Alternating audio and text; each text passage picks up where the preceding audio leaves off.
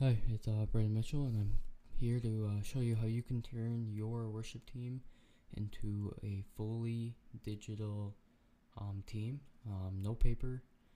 Um, this is going to be using iPads, tablets, um, iPhones, Android phones, anything really. Um, you can even use a Chromebook.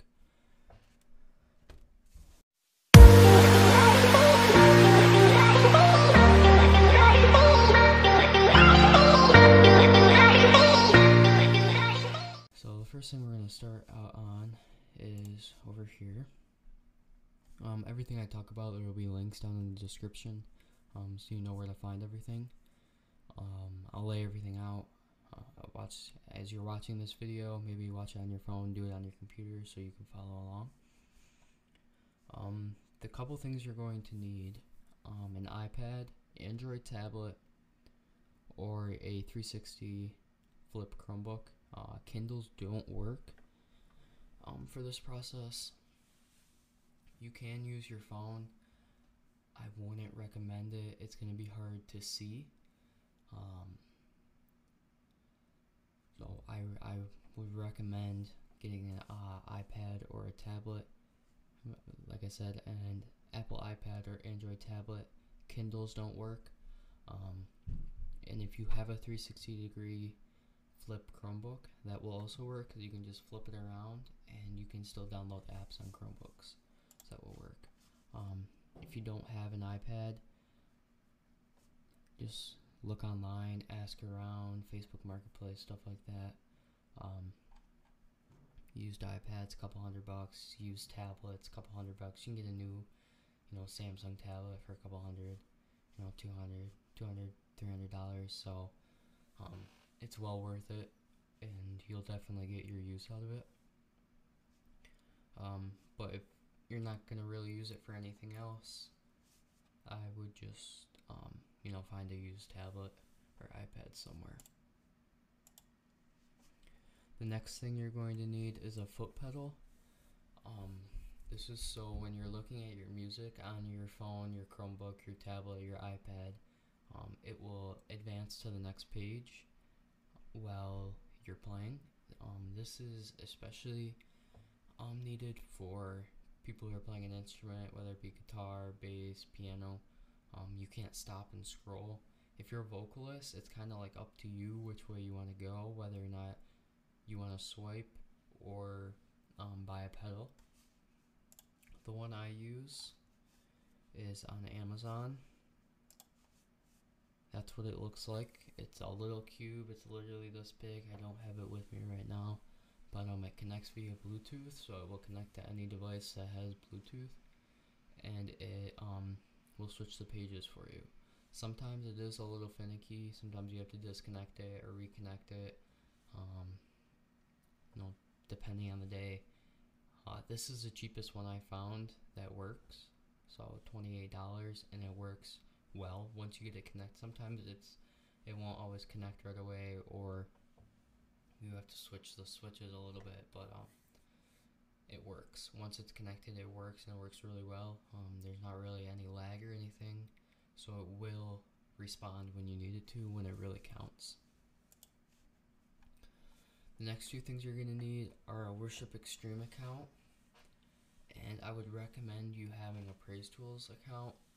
Um, and Praise Tools isn't necessarily um, absolutely needed, but it will make your life a lot easier if you decide to just go the route of doing Praise Tools. So I'll show you what I mean by everything. The program that we're using is Worship Extreme. Um, this is going to be kind of like if you've heard of Planning Center. Um, they have their own app called down here Planning um, by WE, and it's it's just really really simple and easy, um, and it makes your entire worship team digital. You don't have to keep printing out papers every single week. Um, it's a lot of wasted paper, and it's just kind of like a pain to filter through all of it. It's very organized and uh, very easy to use. So you're going to go to worshipextreme.com. This will also be in the description down below. Um, and this was this is what I get. Let me just move this out of the way there. So um, that's what I would get.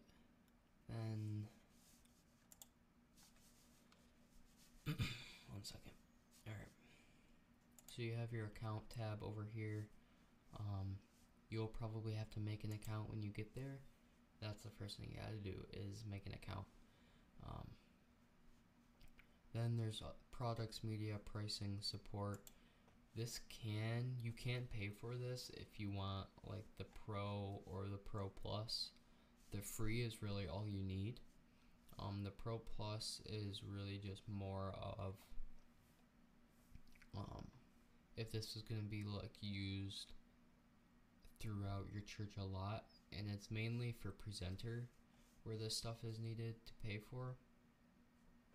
Um, you can choose to use presenter. I don't use presenter um, because I I started using a different program before for presenting my lyrics on the screen, and all my songs are already in there. So when I switched to WE Worship Extreme for my chords, um, it didn't make sense to write all my songs in presenter again. So I just stick with the program I use. You don't need to pay for this. This is really just it it doesn't do much to pay for it. Um, so it's free. Um, media. These are a bunch of backgrounds that you can use for um, if you use Presenter. Uh, support, obviously just support, and then products. So the three um, apps or web browser based programs that come with your Worship Extreme account are Presenter, Planning, and Music Stand. Music Stand is an iOS app and an Android app. It is super nice to use. Um, I will show some video of it later on. Um, I'll like screen record off my iPad that I'll show you like how it looks. Um, presenter, we'll just click on that. It is basically going to be an advanced version of PowerPoint. Um, it's not needed if your church already uses a different presenter. You don't need this. This just helps if you have song select. And this doesn't, this tutorial, you don't need song select. So it is 100% free. You don't need a song select account at all. So it doesn't really make sense to use Presenter unless you have a song select account. If you have a song select account, go ahead and use Presenter because it will import all the songs for you into Presenter and Presenter's free. So that's up to you. Um, if you don't have a song select, just keep following my tutorial and you'll be perfectly good. The next app we have is called Planning. So I'm going to go over to my Planning app. So from present or Worship Extreme, if you want to go to Presenter, you just go to Accounts and you choose your account. So I'm going to create a new team for the sake of this video. I'm just going to name it my test account.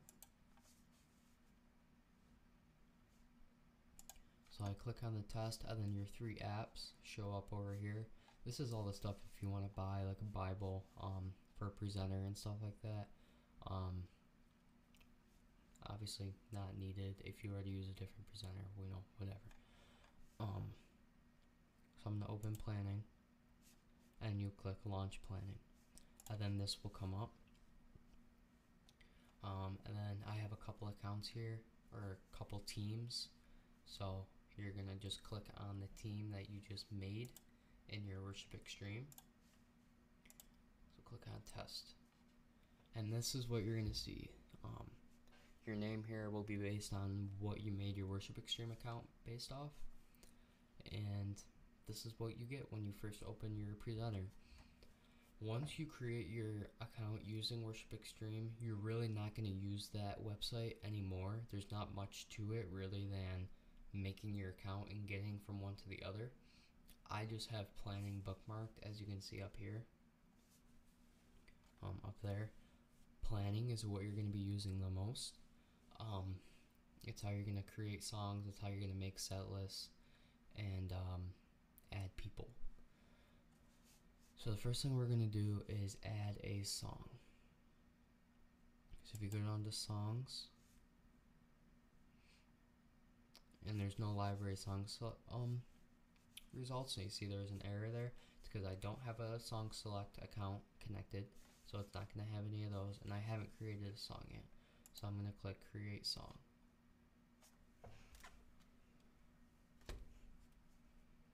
I'm going to name the song. The name I'm going to just be putting in here today is Spirit Lead Me.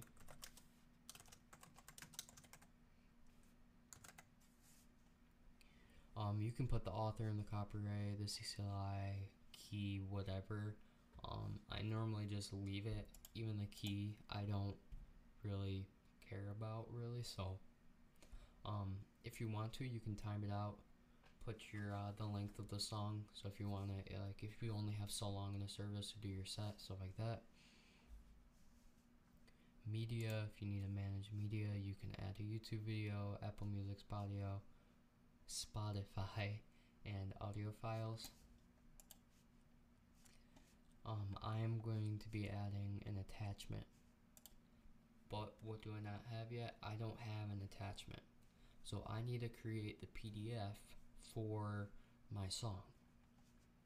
So what you're going to be doing is whatever the song that you're going to be making this PDF for, you're just going to look up the song and then put chords after it. And you will generally get an Ultimate Guitar tab um, uh, Ultimate Guitar chord sheet towards the top. Sometimes there will be some others. Um, I generally go to Ultimate Guitar. If I can't find one in Ultimate Guitar, then I go to other places. So click on that. And then you come to this site. So this is the song that I wanted. These, this is the whole song there. So what you can do, and this is a step where you can either skip this next step with Praise Tools, or um, you can follow the step with Praise Tools. I would recommend to go with Praise Tools, but if you don't, you just click Print down here, and then you get all this stuff on here. If you don't need the chords, you can click off chords. If you don't need the meta info, like the tuning, you can turn that off too. And you get this you can change the columns if you want double columns or oops double columns or single columns. Um, paper size whatever um, it's generally all going to be the same. Um, don't click download PDF because it's not going to work because you have to have pro access to download the PDF but Ultimate Guitar is kind of dumb anyway, so you can just click print and you can save it as a PDF. So that's the one step you can do. And you just click save and you save it onto your computer. What I like to do is I copy just the entire song. Even if I don't want some part of it or you know I'm gonna be skipping this verse or whatever I'm to just copy all of it. You're to click copy plain text when you do whether it's control C or your right click copy. Then you're to go to Praise Tools. So I'm already logged in here. If you go to praisetools.com, you um, just create an account. It is 100% free. And I use this before I even went digital. This is what I would print all of my music off of, so it all looks very uniform and everything is saved. So every single song that I've ever done on paper as well as um, digitally is on here. So all these. You can print off your, um, you know, whatever. People who still use paper use this. I use this when I use paper. So what you're going to do is you're going to go over to songs. You're going to click create song. Then you just do the title. Spirit lead me. You can do all that stuff if you want. I don't ever do it. you're just going to go down here to the chords box, click on it, and do your paste command, control V or right click paste. And you have the whole thing. So at this point, you can edit anything you want. If I don't want this part, I can, you know, drag over and delete it, whatever. Um, it is yours to deal with at this point. Um, you can add resources at the bottom, um, you know, videos. If it's a new song, you want your team to learn it, whatever. Then you're just going to click create song. And it'll say song successfully created. And then you'll get this. This is just kind of a preview. So you're going to want to go over here to the right and click print slash download PDF. And personally, sometimes you get these overlaps here. I'm not sure why that happens. But um, personally, this looks a lot better to me than what you get out of Ultimate Guitar. And everything is saved, so if you ever, you know, everything's saved. It's not like Ultimate Guitar, you have to keep looking for the chords and print. It's it's saved in your account now. So now you just would print it, save, and I'll just save this on my desktop. So now that we have the PDF file that we want, we'll go back to presenter and we'll add our attachment. And we'll want the Spirit Lead Me attachment and click open. It'll upload.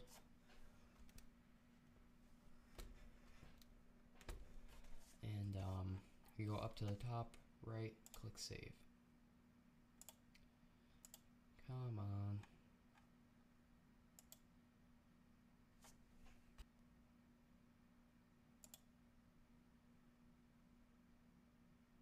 Okay, it's all good now. Um, I think it was an issue with that other um, team. So I just went over to my Auburn Alliance team and added it in here, which I wanted it in here anyway. So successfully changed your saved your changes. So if you were to click on that PDF, it'll open, and that's what you're gonna see. Um, this paper. It won't look exactly like that on the iPad. I'll show you what that will look like in a little bit. Um, next, I'm going to show you. So that's how you add songs. Next, I'm going to show you how you add people. So this is my worship team. Um, Madeline, Madeline, Jesse, Jesse. Those were just accidents. Um, it's put their first name twice instead of their last name. So to add a person, you go down to the people tab and you click add person. Put their first name in there. Um, Bob Joe. Put their first name, last name.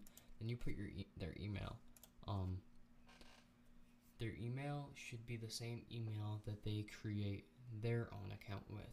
So when they download the music stand app on their phone, tablet, whatever, they have to create an account. They should create an account with the same email that they give you as the leader to add them. So you put their email in there, the same email that they used to create their own account with on the Music Stand app, and I'll show you how to do that later and then you want to add them roles. Click edit roles. Generally, it's going to be used for the worship team. Maybe you have your tech team, your pastor, your speaker, uh, your scripture, you know, whatever on here. You can add all them too. I really only use it for worship team. So you've got Bob is our vocalist. He plays the piano and the keys and sometimes the bass guitar. So that's what's all going to show up under his own account. Under his own um, account in Music Stand. Um, those are his roles in this group. Bob himself can be added to however many teams um, he's in. Maybe he plays for one church and he plays for another church on, you know, Saturdays or you know whatever. Um, he can be put in as many teams. As you see like up here I've got don't need to say but I've got these three different teams. So that's how you would add a person. The main thing you have to remember is whatever email they give you to add them to your team is the same email they need to create their own account on Music Stand, and that is absolutely necessary. So this is our Create Services tab. So down here you can see the next two services. Um, well, this is actually just one service. So what I do is, you probably know this, um, if you're watching this as a worship leader, but when you put a capo on your guitar, um, it's going to change the chords for your piano player and uh, the notes that your bass player will play. Um, music theory. but uh, so you're gonna, it's gonna be two different ta- um, guitar sh- chord sheets for the guitar player and the rest of the people. So I have the guitar one, and that's got the capo numbers on it. And I've got the instrument one, and it's got all the instrument tabs in it. The song we're doing, um, Spirit Lead Me, does not have a capo. So we only need the one tab because everyone's going to be playing the same chords without the capo. So to add a service, we're going to click Create Service. Under Service Type, um, you can change your service types under the Service Types tab here. You can add all these different service types. Maybe you have like a Saturday night or a Sunday evening. Um, I generally do youth group um, for mine, so that's what I choose. So service type youth group. Under the service name, um, I normally put either guitar or instrument. So this is, you know, I'll just put guitar because I'm going to create two different services for the same date and then just put a date on there. So whenever this service is planned for, you know, maybe this is the, got the 30th. What even is today? Today is the 28th. So the 12th. Then you put the time. Our youth group is at 5 p.m. And you can add any notes in there that you want. I don't generally put notes in there. And then now the service is created. So you can click add items. And this is where you're going to put your songs in for your service. I don't put a name in because when you select the song, see if I can find it here. The search doesn't always work, so I just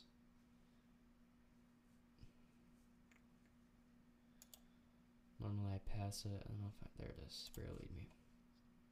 And then when I click save, it'll save right on, and then it'll put the name right on there for you. So perfect. So now I'm going to show you what Music Stand will look like on the computer. Continue to the web version. This is basically what you're going to see on your iPad. Obviously, it's going to look a little different because the screen's not going to be the same ratio, you know, whatever. But, um, this is generally what you're going to see. I'll show you some video of it. I'll put some up on the screen right now. But you got these tabs over here for all the different songs. So you can create set lists just using the Music Stand app. I just really prefer the um, the way you can do it on um, planning rather than the Music Stand app. I think it's just a lot easier and um, just laid out there for you to uh, be able to set up rather than doing it on a small little tablet. Do it on your computer. If you don't have a computer, then you can absolutely create um, set lists on the Music Stand app. Um, and I'll start that screen recording right now so I can show you.